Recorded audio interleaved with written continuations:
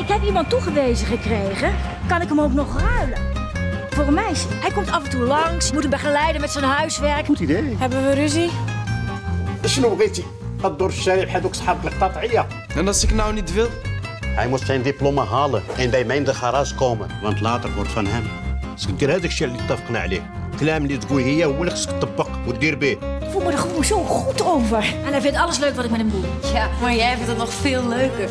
Barlessen. Mogen hier geen uh, Marokkanen tennissen? Tuurlijk wel. Tuurlijk. Gezoend met een Marokkaan. Bent u Marokkaan? Met jou Marokkaan? Met Sjoekie? Shukri. 16 jaar. En dan mbo autotechniek. Ik kan het niet en het boeit me ook niet, die kutauto's. Maar Sofie gaat geen verkering nemen met een Marokkaan. Over mijn dead body. Heb je honger? Ben jij verliefd op hem of zo? Ik zoek Shukri. Wat wil jij nou eigenlijk echt?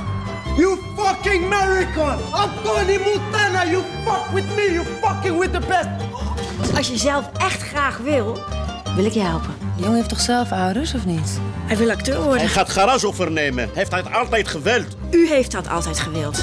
Wat opzouten, wat lul je nou? Jullie horen hier niet. Jullie? Het heeft geen nut. Als je dat zegt. Het heeft geen nut, zeg ik toch? No hard feelings, Tjoekie, maar het werkt niet. Dat eh, ziet Suzanne nu al. Ik wil die jongen helpen uit de grond van mijn Maar je hart. hebt uiteindelijk toch maar liever niet dat hij aan je dochter komt.